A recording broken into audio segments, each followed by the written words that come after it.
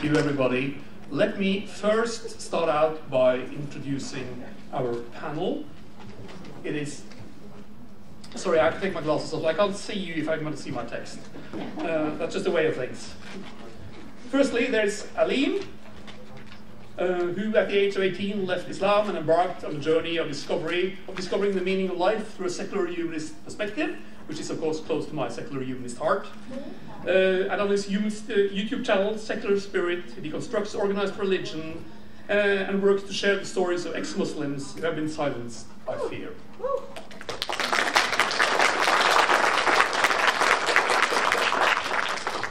There is, secondly, uh, again, Gita Sahgal, writer, journalist, filmmaker, and rights activist. Among many other things, she's a spokesperson for One Law for All, a founder of the Center for Secular Space, and she produced the film Women Leaving Islam for the Council of Ex-Muslims of Britain. You might return to that.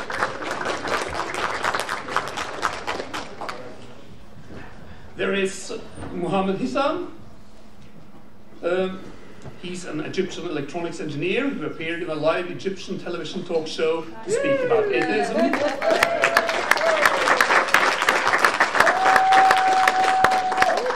Led to threats uh, to his life in Egypt afterwards. Sadly. Then there is uh, my friend Khadija Khan, who I'm very happy to see back in Oslo under conditions less likely to freeze her to death. Khadija is a Pakistani journalist and broadcaster based in the UK. She's an ardent advocate for secularism and criticizes the use of blasphemy laws as a tool to crack down on dissent.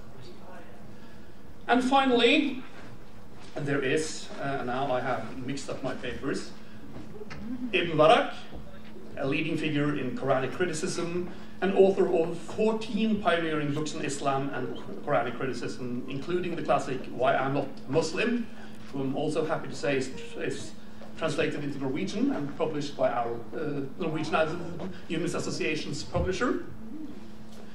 Uh, he will uh, uh give uh, the, the, opening words here, but I'm going to take the liberty to keep the microphone for a couple of minutes more while I'm up here.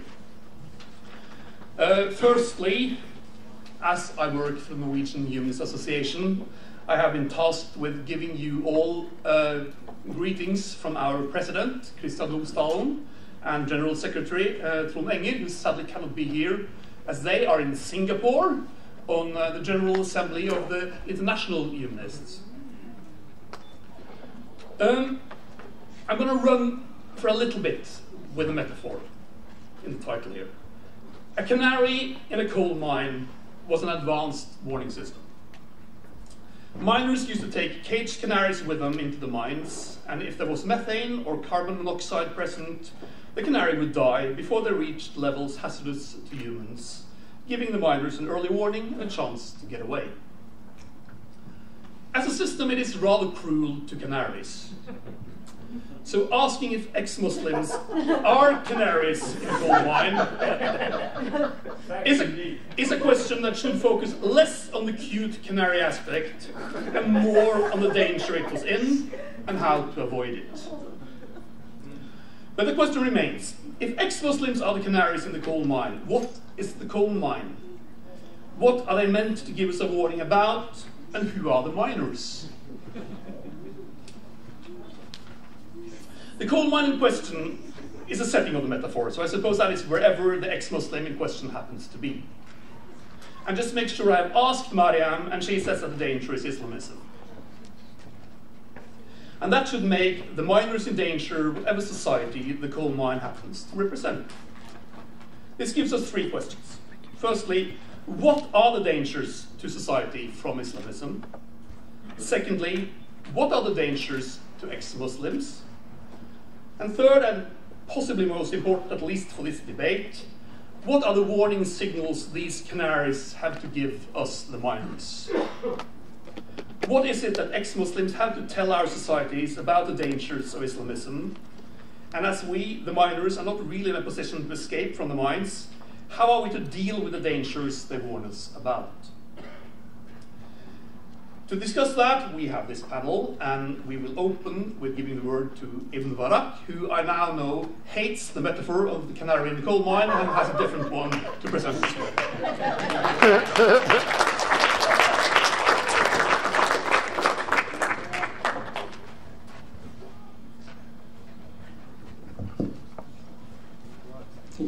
Yes, uh, when, when Maryam Namazie proposed this metaphor to me, I, I wasn't sure what it really meant. Um, I am a, uh, I prefer another metaphor, which I'll give you at the end of, of, of my little introduction. Um, the idea, I think, is we've been warning, all of us here present have been warning the West, the countries where we were living, we were living, about the dangers of, of Islam and Islamism, if you like, but uh, I don't make the distinction myself. Um, but it's not, it's not clear that, that our message has been un understood. I mean, I wrote my first book, Why I'm Not Muslim, in 1995. And the message still has not got through, it seems to me. uh, um, uh, one of the panelists here um, said earlier, uh, we really have to repeat over and over and over again the same thing. It's, it's a bit, bit tedious, but that's the only way uh, the message will get through. So uh, I, I was, um, uh, I did some very quick research on the, the peasant situation, uh, particularly in, in, in Britain and in France. Um, uh, there was a recent book which came out uh, uh, by Étienne de Larcher, Au cœur de l'islam de France, trois ans d'infiltration dans 70 mosquées. Uh, 70, it's a journalist who went to 70 mosques and he talked to not just the imams but the, uh, the ordinary Muslims that, that he met. Uh, he, he passed himself off as a convert, a newly converted Muslim, and he was eager to find out more about his religion. And his, his conclusions are pretty, pretty depressing. I mean, he says, uh, he found that the majority of the, uh, of the people that he talked to endorsed the Sharia, uh, they endorsed punishment for adultery, they endorsed the they, they, found women inferior to men. Uh, they didn't think that the women should be allowed to give testimonies in a court of law, uh, and so on. It was it's, it's, amazing. And then there's another journalist, uh, um, Guy Millière, um, uh, who, who, gives even more startling statistics about what the situation in, in France. Uh, he, he, publicized a survey, a poll which was taken in Le, Le Journal du Dimanche um, at the beginning of this year, uh, and, and the, the results were pretty, pretty depressing. Uh, the majority of the Muslims uh, interviewed uh, wanted um, Sharia, and they wanted uh, uh, Catholics to convert to, to Islam. They wanted the churches to be converted into mosques and so on. It was a really depressing picture. So, uh, but the, the, the authorities are not helping at all. Um, that this is why uh, my, my, my, I will change my metaphor to uh, we're in the, in the Titanic, which is, has struck the, the iceberg, and all we can do is rearrange the deck chairs. So it's, an inadequate response to a sinking ship. Um, so uh, what are the solutions um, that we can leave to the, to the panel? So I, I have a few ideas, but I will leave the pass it on to my colleagues. If I can have one microphone back, it would make my job easier. I have uh, noted down some questions to start off here. Uh, I am going in the spirit of Eirik before here to be a fairly strict, uh, uh fairly strict uh, keeper of time. Uh, as there are so many interesting people here to listen to, we need to sort of restrict uh, how much time each of them uses, so everyone shall have a chance to give us their message.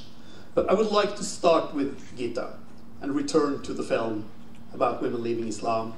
Um, what did that work, the work of that film, show you about the role of ex-Muslim women, especially in uh, in the role of, of giving that this kinds of warning we are talking about here?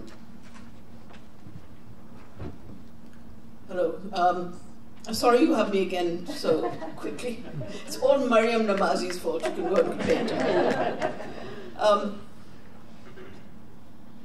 one of the things I want to say about the film is that the version that you, I hope you've seen it. If you haven't seen it, please go and watch it on YouTube. Women Leaving Islam, is that it it was a second version of the film because we made an entire Carl, who's here, um, and Maryam had uh, interviewed, well, various people had done interviews, including Maryam and others. I was brought quite late into the project. We'd done an entire edit of amazing women who were talking about their lives, uh, coming from different countries, as in this room. Some of them were converts, like Western converts to Islam. Some of them had grown up in a Muslim um, country or in a Muslim family in the West. They came from diverse backgrounds. When it came to actually showing, we got consent forms from all of them, but when it came to actually uh, bringing the film out, we asked for consent again because this is a very dangerous subject, as all of you know. Um, and none of them really wanted to be in the film anymore. It wasn't necessarily that they changed their views, but they didn't want to go public. And so we had to do a second film uh, of which Zara Kay was part, and there may be other people uh, who were part of that film who are here. I know Halima is here, um, and do talk to them about it. They, but they said they, they were already public. They had recited poems, they were creating content online, and so on. So we went with women who had made themselves public as ex-Muslims. And the warnings they were giving uh, were in, in, I think in all their cases, where they come from very, very fundamentalist families. I don't think all Muslims are the same, or all Islam is the same. And if we move on to, you know, what are the answers? We were discussing secularism, laicite, uh, in the morning. They embrace that kind of thinking, that kind of politics, from their experiences of not only of Islam being oppressive to them as human beings, but as women. They had experiences of FGM, of trying to oppose and fight FGM, of hideous domestic violence in their families. Some of them had been preachers before. They had actually been proselytizers for their religion before they changed their minds. Um, and it was for that, the form of Islam that we've just been talking about, the one that says impose Sharia and so on. I think if you talk to Muslims across the world, not in the West, they've lived under these kind of systems. I don't think they want them in the mass. The people of Sudan are now locked in a terrible civil war by warlord, uh, warlords who won't accept what happened in Sudan, which was a secular revolution led by women, led by women against, you know, pushing for a civil state, pushing for a secular state. You know, I don't think the people of Iran want these mullahs anymore, and many, many other countries. So we have both versions going on. We have a, a, a horrific forms of Islam being promoted, propagated, and actually settling down in the minds of the people, especially identity, people looking for an identity in, the, in other countries. And we have millions of people unable to, to speak uh, who actually fed up with this and hate the mullahs.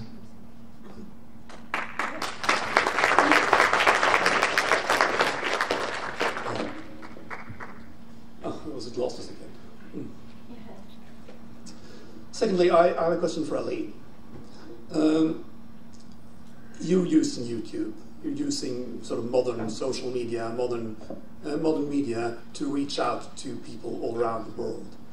Uh, how do you see uh, media like that? What, what kind of uh, uh, options do they give us in spreading, or give you, in spreading that message? That um, and and what are uh, what are the benefits of using this kind of media in, in, in that kind of work? excellent question. So what I would say is, like many people who've been on this panel and the previous panels, I am a journalist. I come from a journalistic background. And one thing I found almost immediately when I started off in this field was that there's almost nothing about the ex-Muslim experience, the ex-Muslim perspective. I did discover Ali Rizvi's book, The Atheist Muslim. I think he's here. I think I might have spotted him at some point. There he is in the back. Yeah, so that was one exception, and what I discovered was there was a real rarity.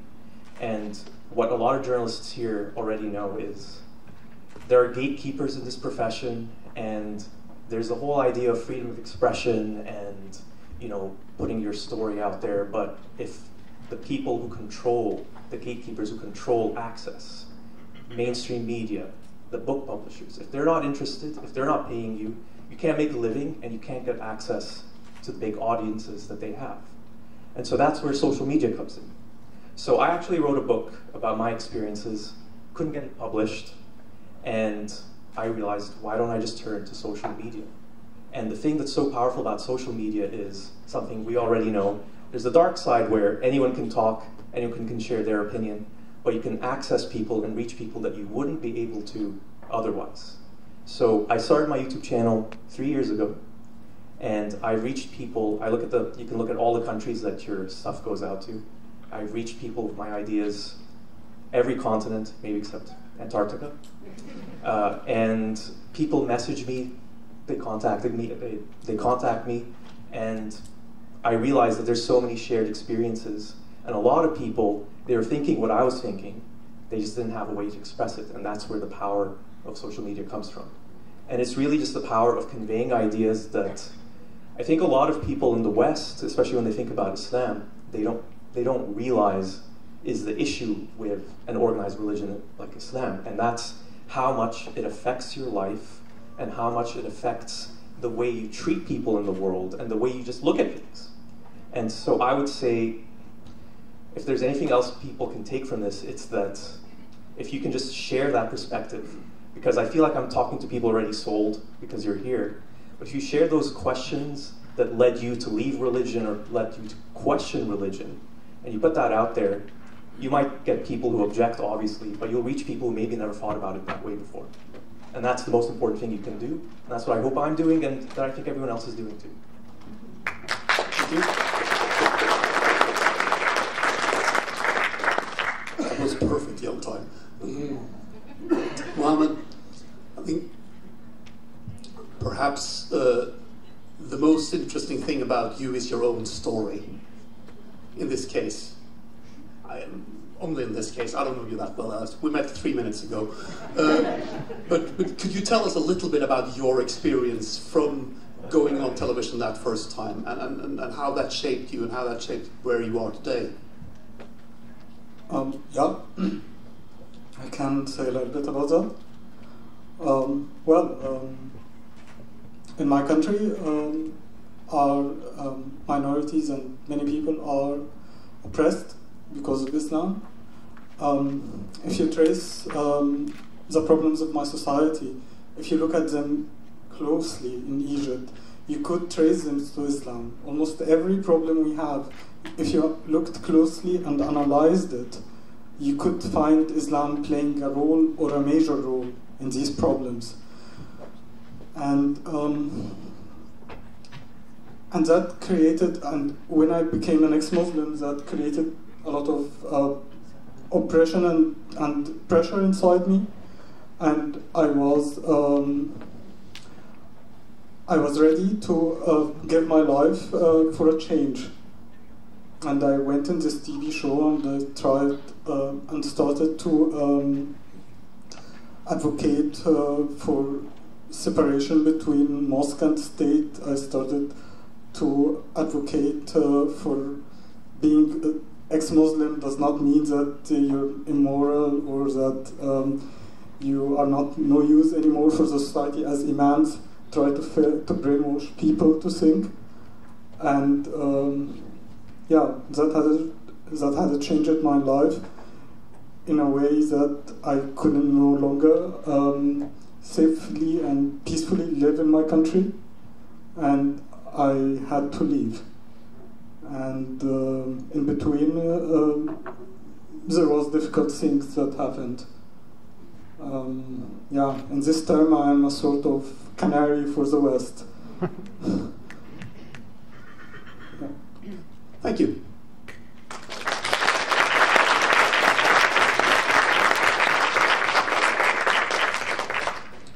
Khadija, I would like to move on to a subject that is close to our hearts here in the Nordic countries now, that is blasphemy, laws. Norway uh, got rid of its blasphemy law in 2015, Denmark in 2016, and then last year they brought back something that looks a lot like a blasphemy law, which is a law against uh, defiling holy scriptures. Um, how do you see uh, the use of blasphemy laws, the demand for blasphemy laws being used by, by Islamist groups around the world? Uh, how do we stand up to that kind of demands? Because we are seeing them, I think, in all, all Nordic countries and in all countries who do not have these kind of laws. Uh, in Muslim majority countries, uh, when um, somebody is accused of apostasy or blasphemy, they are not given the option to choose between repentance and punishment. Uh, they are publicly executed, uh, or in worst cases, they are lynched by a violent mob. Well, we don't have uh, uh, blasphemy laws in the West, almost not, but still publicly denouncing uh, Islam in and of itself constitute a huge statement it's not a crime to denounce Islam in public here in the West, but even in the West, ex-Muslims and people who want to criticize religion, they face uh, social ostracism, they reprisals, and in some cases, violent attacks. Uh, and it also draws um, unabated criticism, uh, not only from religious zealots, but also uh, from politically correct liberals in the West. Um, it is a sad reality for many ex-Muslims here in the West uh, that they are often advised by the authorities and by some well-meaning uh, Western liberals uh, to keep low profile, uh, to keep quiet, not to offend fanatics, and never to complain about the threats and abuse you endure for your own safety as a result, many people, uh, like ex-Muslims, they have opted to live a life of anonymity. Um, I know personally people who have deactivated their social media accounts, they have covered their faces in public, and um, they live a life, you know, isolated life, you know, in, in, in Western democracies where we um, believe that we have all the freedoms and liberties that can honor human dignity in, in modern age.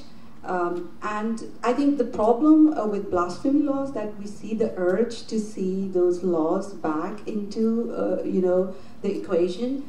Uh, the problem is that the political uh, the politically correct correct liberals they ha have been unable to see the perils posed by the religious fundamentalism. I, I know there is a history of Western society, they have fought battles, you know, just to put religion, um, you know, in its place out of political and social discourse. But uh, somehow, when it comes to Islam, they have, uh, you know, adopted this uh, policy of appeasement and reconciliation. I, I, I have observed it like there is an element of political correctness uh, under the guise of reconciliation has been infiltrated in secular democracies in the West. And uh, people, they are afraid of uh, being uh, called uh, racist.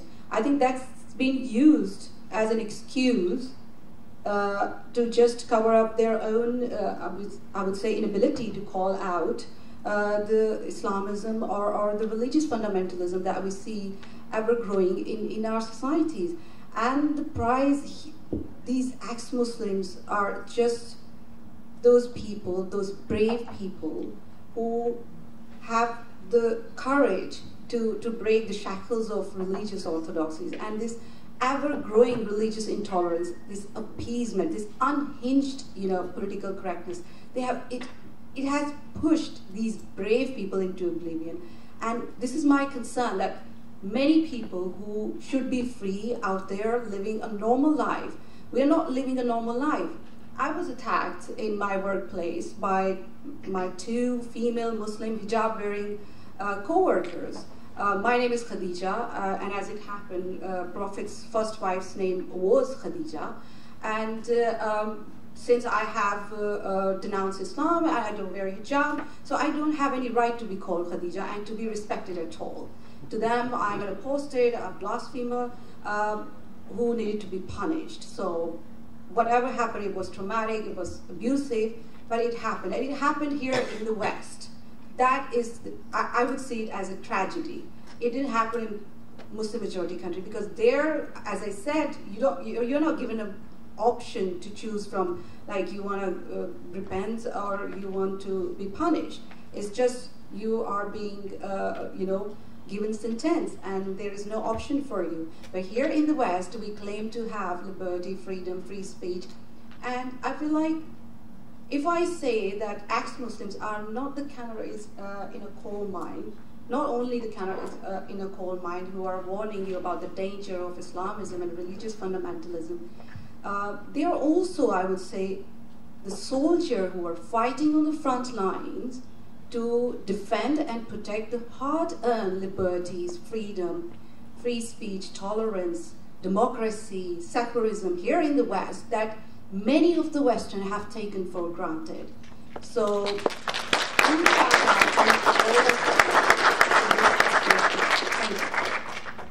Thank you. Uh, Imran? Yeah, I should, just, I should like to add that apart from being accused of uh, Islamophobia uh, as ex-Muslims, I had one American journalist come to me and say, uh, well, you can no longer criticize Islam because you're out of it, you're out of the game. so I said, do you, you really have to be a fascist to criticize fascism?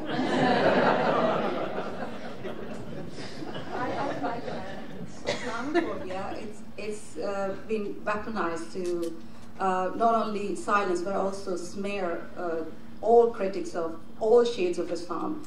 Uh, and uh, it's, it's being used as, as an excuse uh, to uh, delegitimize the concerns that ex-Muslims, their races. And this is the problem that people who are pushing this one term into social political discourse, they can't see, I mean, they can see, but they don't want to acknowledge you know, the danger this one term is posing uh, when it comes to, you know, free speech in Western societies. You're touching upon one of the points on my list here, which is uh, namely the use of Islamophobia, the weaponization of Islamophobia.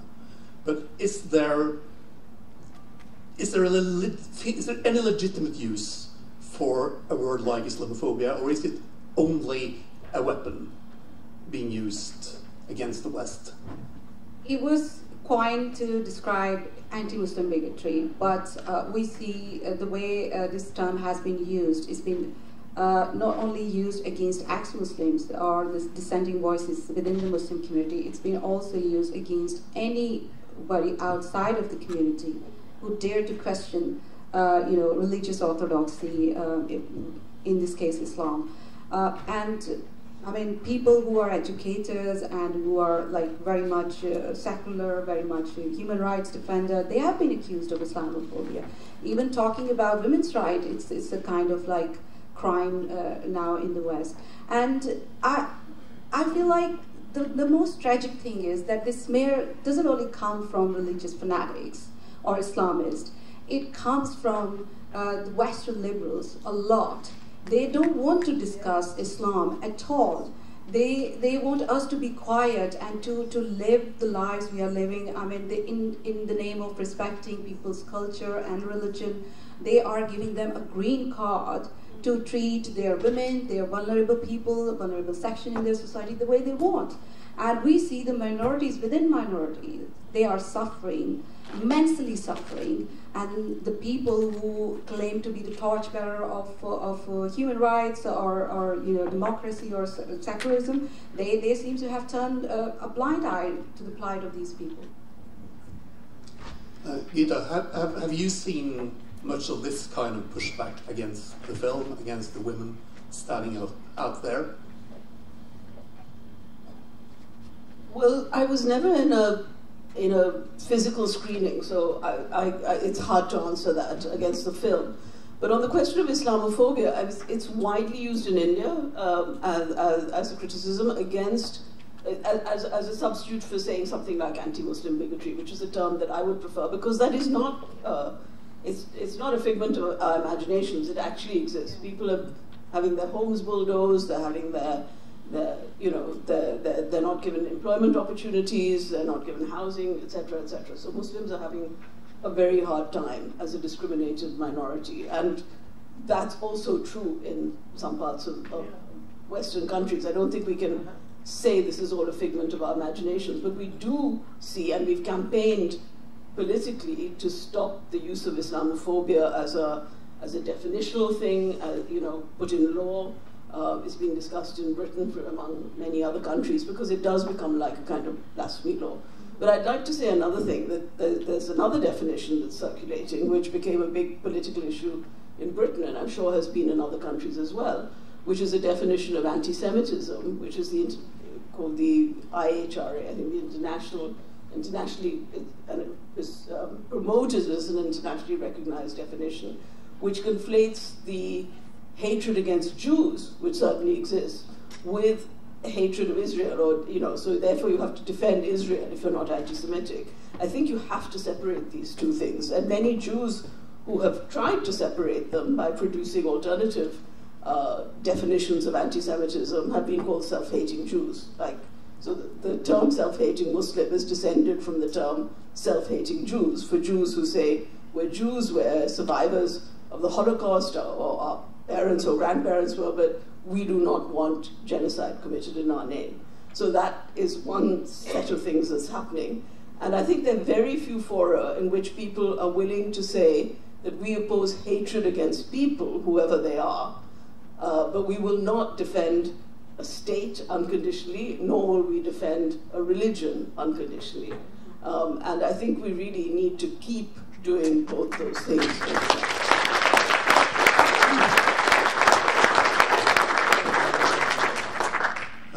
Uh, your personal experience from uh, from the struggle you went through, uh, have you experienced that kind of accusations of like racism, Islamophobia, and so on, uh, either in Egypt or or in the West? Actually, not. I don't remember if it happened. I just don't remember. And if it happened, I wouldn't take it seriously because the words words are being sometimes misused, and when they are misused, then they don't mean anything. And uh, with Islamophobia, I mean, I think phobia is irrational fear, correct? If I'm afraid of Islam, that cannot be irrational, because it had almost killed me or destroyed my life or so. Um, yeah, certainly there are my people exist that have irrational fear, but to investigate that, it's not so easy to know that of its hate, it could be hate, it could be simply hate, you know, not irrational fear. So yeah, I think there is a problem with using words and the meaning of these words. But I don't remember that I've called I've been called racist for criticizing Islam. I just I don't think it happened to me.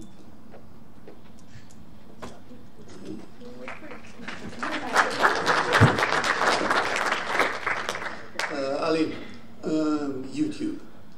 YouTube has comment sections. comment sections are, as we all know, a um, everlasting gift that keeps on giving goodness and niceness and all that stuff. Uh, no, it's not. Uh, what are your experiences with with the comments? Are you experiencing the kind of things that Khadija are talking about there? A little bit, yes. So uh, I'm not a fan of Joe Rogan. But he did give one good piece of advice to YouTubers don't read your own comments. And of course, I violated that rule many, many, many times. And so, what's so interesting about working in that space is that everyone seems to have an idea of why I'm doing this and what I'm thinking and what I actually believe. And the thing that really stood out to me is they don't focus on the arguments you make, they don't focus on the points, the criticisms of Islam, they focus on you. Uh, so accusations I get regularly are, uh, fake Muslim, never was a Muslim. Uh, he's being paid by, I don't know, whoever it happens to be uh, to just push this agenda. Or I'm just trying to make money to get famous. Believe me, there's easier ways to make money than criticizing Islam on YouTube. really, a lot more easier ideas. But here's the thing I wanted to mention here. So, so I'm a man criticizing Islam, and I get a lot of stuff uh, attacking my intelligence, my integrity, but that's nothing compared to what women who are in my space on YouTube, on Instagram, on TikTok, ex Muslim women who criticize Islam, what they get is a whole other level, and I think that's revealing in of itself. Death threats, uh, threats of abuse, assault, and uh, threats to expose them, to stalk them, to track them down. And there's several women here who have dealt with this and talked about it. Uh, I do want to call out a name. Uh, Zara Kay was one of the first people to support me. I can't see Zara right now, but Zara knows this very well. And I think what it's so revealing about it is that when Islam is attacked by women, Muslims know that they're vulnerable on that point because you just have to look at the, at the Quran, at the Hadith, to look at the Prophet Muhammad's story to know that it's problematic when it comes to women. And when you criticize people and you hit them at the point where they're most vulnerable, they're going to lash out in the most violent, aggressive way possible. Yeah, so, I mean, that's an excellent answer to the question that was posed to me. It's not so much the film, but the women in the film that have faced exactly that, exactly that. We have 21 minutes to go, but that includes a bit of art and questions. Uh, so I think uh, we should possibly try to move towards the idea of solutions. Are there solutions? Uh, Ibn Warraq, you don't so sound very hopeful, uh, but you have then again taken an enormous amount of notes during the, during the, this conversation. Uh, do you have any concepts of things we could do? Except from arranging the lectures? Um, yes. Well, uh, I have taken, um, uh, in my subsequent books after Why I'm Not a Muslim, I, had, I did a series of books on Quranic criticism, on the search for the historical Muhammad, uh, origins of the Quran, I'm uh, sorry, uh, what the Quran really says, and so on. So I think the way to go is, is to, to present the historical critical examination of Islam to a larger public. People just don't know the real stories of, of what really happened in the origins of Islam. Um, that, that's, uh, to me, that would be the best, best solution to, to make this research available to as many people as possible. And that's what I'm trying to do with all my uh, more popularizations of the origins of the Quran and so on.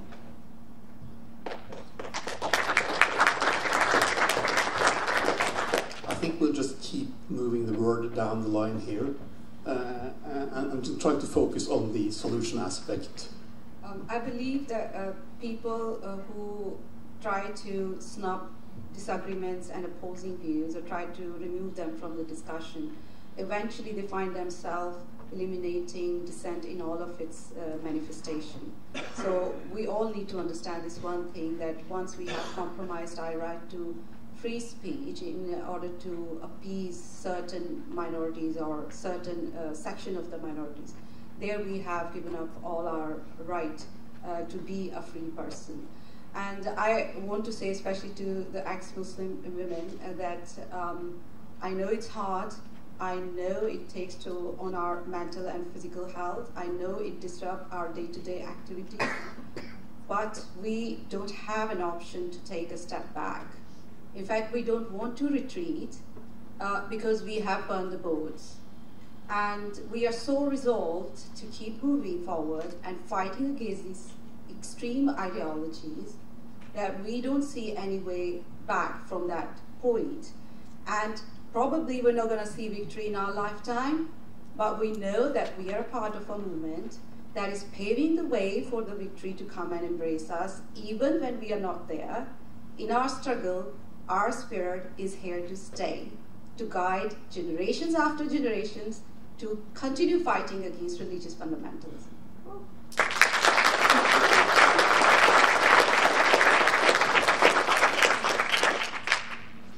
For me, the solution is one simple word education. I think education is really the way to just change our entire world's position, not just on Islam, but on the dogmas, the oppressions of organized religion. And what I mean by that is, to go back to what I was saying earlier, it's about asking the right questions and showing different perspectives. So if you watch the clip of Muhammad and his interview, they barely let him even talk. It wasn't even an interview. That's intended to control you because they know that Egyptian people, they're watching that talk show. They're not watching anything else, so they don't have access to another perspective. And that's where, again, social media can come in to show people and educate people on different perspectives. So uh, when I was growing up, let's say early 2000s, I was still Muslim, and I remember being very homophobic. I just thought uh, two men kissing each other was disgusting, an abomination. And what changed my mind on that was just learning another perspective, and it was through a movie actually, Brokeback Mountain. Uh, I watched it, and I remember being judged by my friends at the time. I was living in the Middle East, being judged that I was watching it. But what was so revealing about it was it made me think about how why do I hate uh, homosexuality? Why do I find it to be an abomination? And I realized I didn't have an answer. I didn't have an answer to that question. And sometimes it takes asking that question, learning that perspective, and that's education, really, in a nutshell. So I think it really starts from there.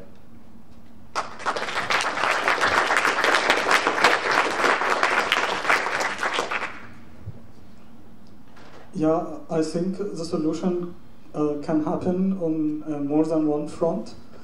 Um, education is really important, and especially from my point of view, education of children.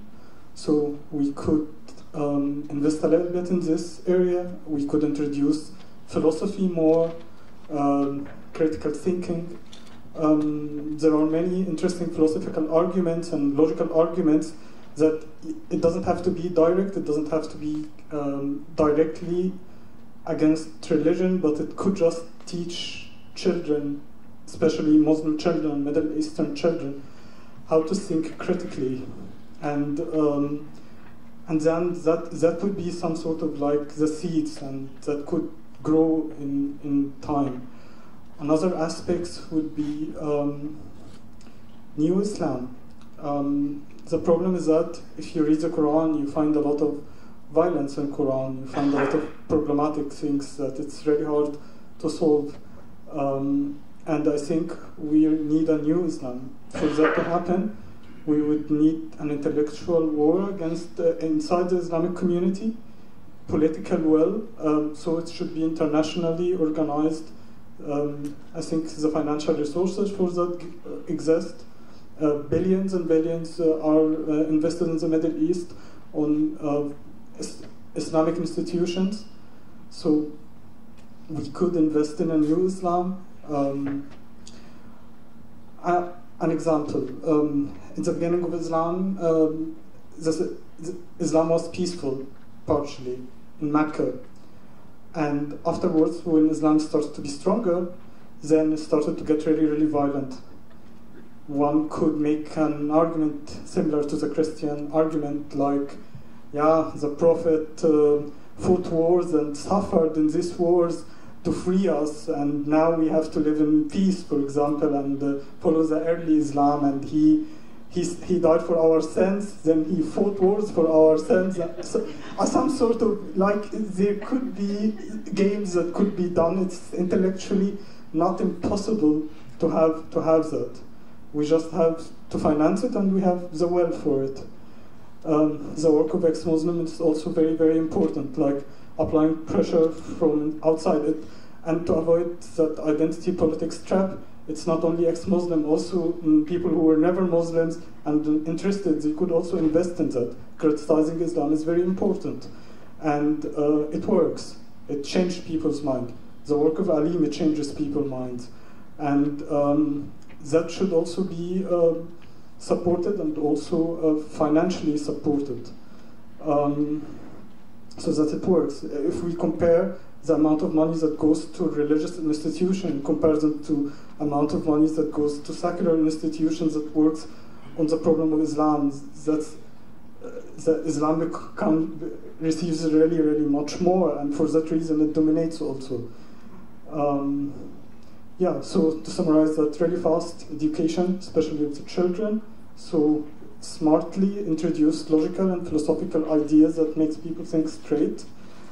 Um, yeah, and political pressure and money uh, to change Islam from the inside, and also apply pressure from the outside to change Islam. That would be how I see the situation.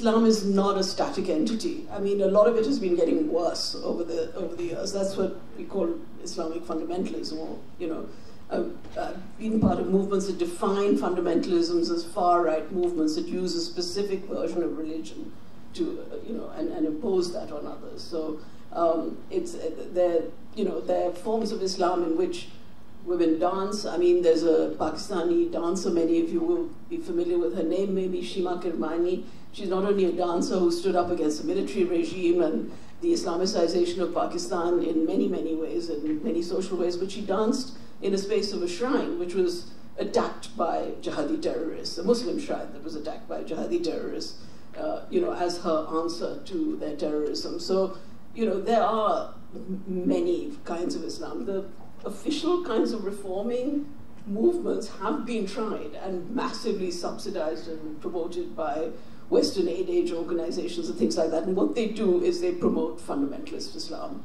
in the end. So they've actually been a disaster to all of us.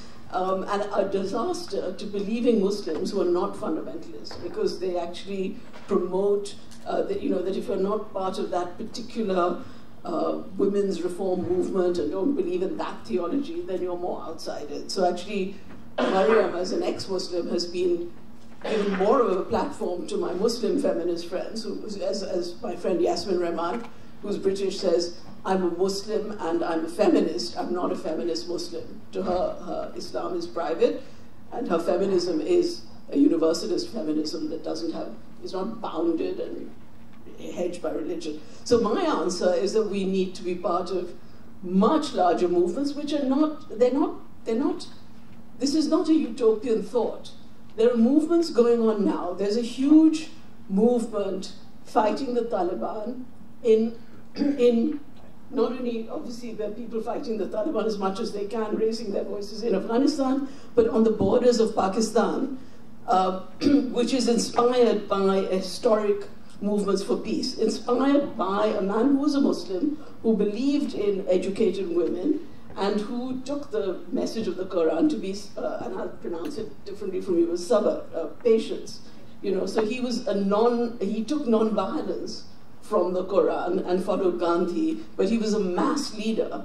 And now there are thousands upon thousands of Pakistanis saying we don't want the mullahs, we don't want the military, we don't want to be ruled like a backward tribal movement, we want civil rights, we want full civil rights for ourselves. Now, they're not ex-Muslims, they would probably largely define themselves as Muslims, but they are part of that civil rights movement, which, which, which is also pointing out the government's policies that has um, promoted the Taliban from within and helped them to get to power in Afghanistan and said, we don't want these people on us. So that's just one example of a secular movement that is actually dealing with some of the worst forms of fundamentalism and state violence at the, at the same time.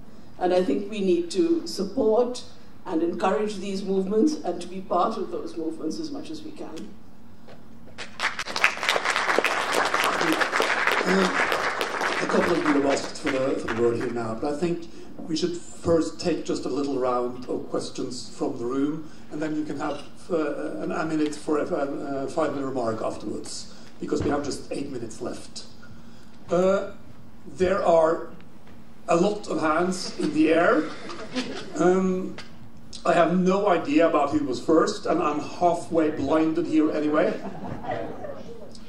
So, um, start, start from the back. Yeah, start in the back, move forward, keep it very short. You will say first. Try. Maybe I don't need the mic at all. Hello everyone. Wonderful experience being here. Um, I'd just like to, with just a couple of minutes, maybe one minute. No, you don't have a minute. You have half a minute. Uh, ten seconds then. I'm interested in the illiterate, the political illit- illit- illiteracy of the UK, 90%, and with uh, the thought that 30 year old man is he mature if he believes in God? So uh, I had a question actually, Aleem. You know, you mentioned Brokeback Mountain, and that made me think of. I was very homophobic when I was young, and what changed it for me was Philadelphia, the movie with, with Tom Hanks. So I guess one of my questions is, uh, you know, we're, we're talking about education and understanding history, but what about the role of fiction and storytelling, which I think can be really powerful. Um, I mean, from Orwell to you know whatever you have now. Uh, read all these op-eds on uh, you know gay rights and gay marriage and everything, but eventually it was Philadelphia, the movie, that changed my mind. And in your case, it was Brokeback Mountain. So what, what do you think about just the power of fiction and storytelling as something to bring in, um, and art in general?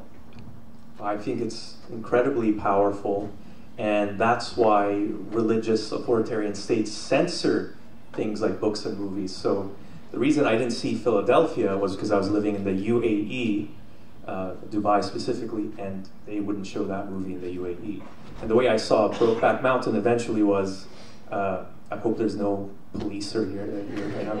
I pirated it. I, I torrented it. so, so that's like one plus of, of piracy. You can actually access things that you wouldn't normally be able to.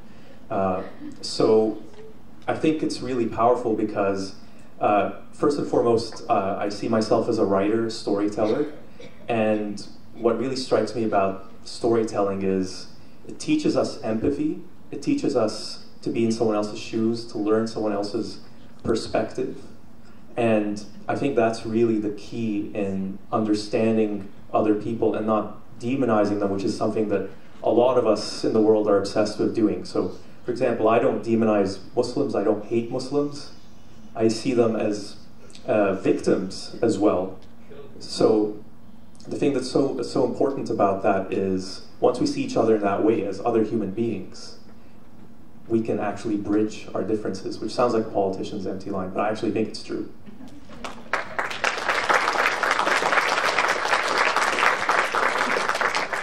We have less, less than five minutes to go, so you will have to be very, That very. is okay for me, five minutes, thank you. Now, uh, from the fiction to reality, as may all of, uh, some of you know, uh, Bertrand Russell has a very f- famous uh, uh, saying, says that if we didn't have a sentence as God has said, we, we could have Galileo or, or, Copernic thousand years ago. Imagine if we had AI thousand years ago. But my, my, my take in this in the solution was that I think this naivety or political naivety in, in, in, in West that uh, uh, identify religion as a, as a part of identity to the, to the human.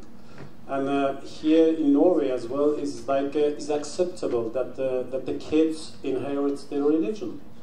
And I think with that you, it doesn't matter how many how, how much time you use to educate the, the let's see the the, the parents, the children is already pushed to the wrong track. It takes a long time to come back and say, okay, why I pushed to that corner? Who said that I should inherit the religion? I think in, in, in, some, in some sense we should, as a both activists or political activists, should just work against this that no, no kids actually inherit religion or it's not part of your let's see, genetic, you, you don't have a religion. You know what I mean? And I think that's a part, that that's a problem in Western that it, it, it, it is now practiced daily, and that's a problem. In, in some, let's see, Muslim majority country, that's another case, but in Europe, come on. We have three minutes to go, and I think we will simply have to skip the rest of the questions and uh, have the, some completing remarks from the panel here. Uh, I would say I I would like to say something about you know the Western uh, people's you know obsession with bringing restrictions on, on free speech. Um, they are doing so in terms of uh, protecting uh, people's sensibilities. So I would like to uh, once again draw the line between people and the ideas. Uh, people like me, I have seen like in ex-Muslim movement, largely people they try their best to draw this distinction and try to maintain that distinction between the during the discussion. That we uh, don't have to demonize people in order to criticize ideas. People have right, ideas don't. And this line has been blurred again, I would say, not by the Islamists, not by the religious fundamentalists, but also some well-meaning, you know, Western liberal people who believe that uh, by shunning down, uh, shutting down the criticism on Islam, they could protect Muslims from bigotry. And I think this is also a form of bigotry if they think so, because Muslims as people, they have their dignity, they have their right to be respected. The idea, the set of ideas, which is Islam, has no right to be protected or, you know, protected from any criticism that comes towards it. So I think we need to draw this, this distinction and try to maintain it. And then I don't think so that we can anyway promote bigotry against people while we are just doing it. Um, I, wrote uh, this huge book, uh, it's about 700 pages or something. It's called Leaving the Allah Delusion Behind. Perhaps some of you got copies of that at the last uh, conference in, in Cologne.